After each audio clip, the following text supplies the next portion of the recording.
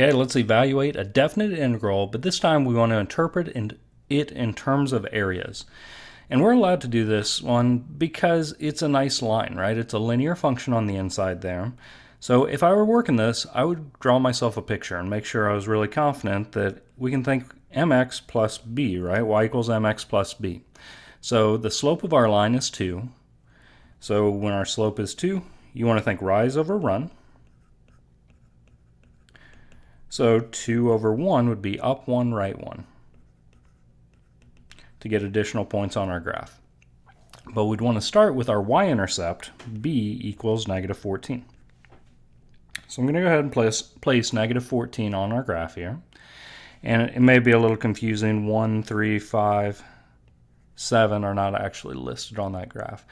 All right, so we're going to go start at that y-intercept, go up 1, right 1, sorry, up 2, right 1, so negative 14 to negative 12, and go right 1, up 2, right 1, up 2, right 1, up 2, right 1, and just keep going, and we can fill out and get a very, very, very nice graph going.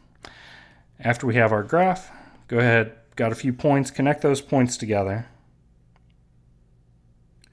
That's why that line was hanging out over there. And now we want to interpret it in terms of areas. So the next thing I'm going to go ahead and do is look at our endpoints, right? Our endpoints for this integral are 3 and 8. So I don't care all the way over here to 0 for an x value, or 1 as an x value, or 2 as an x value. I really want to look from 3 all the way to 8. Okay, so as we're, we're thinking about that, we have two different triangles, it looks like to me. We have a triangle going on here that's below the x-axis and a separate one up here that's above the x-axis. So let's do the calculations for these individually. The area for the bottom one is going to be 1 half times base times height, right? It's just a, a triangle. So with this, let's think we are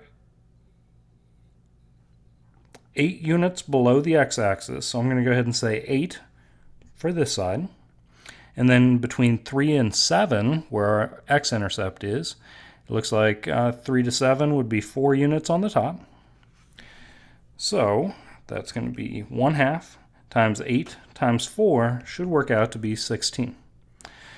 But in terms of that's the area of the triangle, we're going to have to treat it as a negative 16 because it was below the x-axis.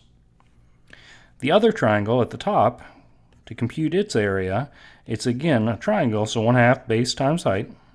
The base here is just going to be 1, and the height appears to be 2 on that side. So 1 half base times height, it has an area of positive 1. We're going to add that because that was above the x-axis. So areas above the x-axis are positive, areas below the x-axis are negative. So add those, combine those like terms together, and we get negative 15 um, is going to be that definite integral. So hope this helps out. Um, I would say draw the picture, get some graph paper, that sort of thing. It really helps as far as locating exactly where you need to be. So good luck.